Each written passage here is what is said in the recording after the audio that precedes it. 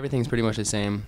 And uh, there is traveling, but it's a lot different. Like it's not just you know two steps you have to shoot and like able-bodied, but it's uh, two pushes and then you have to dribble. So like anytime you touch your wheel and move it one direction uh, twice, you have to dribble. The biggest difference is classification. The classification system works out as um, from one to four or four point five, and whatever number you're designated is the number that designates how disabled you are. The lower the number, the higher your disability. The higher the number, the lower your disability. Then for the five players that are on the court, the sum of their numbers or their points can't add up to more than 14.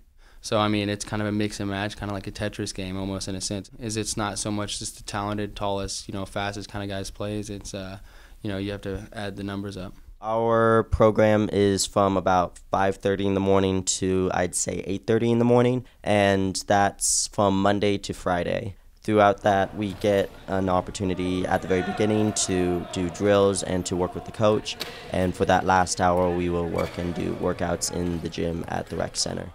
Um, a wheelchair that you use on a daily basis, you want it to be as skinny as possible, and so that you're a little bit more mobile and can fit through smaller spaces. Yeah, the ones we use daily are really slow in a sense. I guess you could say it's like a Prius versus a Ferrari.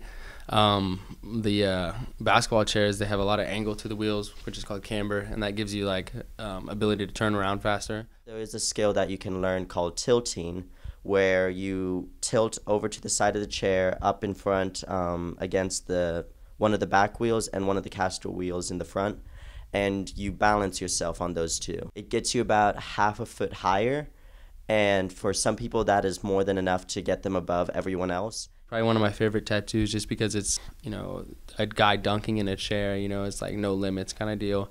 And um, it's symbolic of like a huge chapter in my life because I mean, wheelchair basketball has changed me a lot. What I'd like the student community and just people in general to know about wheelchair basketball is simply the fact that it's there and that it is not just like a social program, it is a competitive sport that is out there for individuals who want to play it. It's one of my favorite experiences is being with this team and getting a chance to really be together.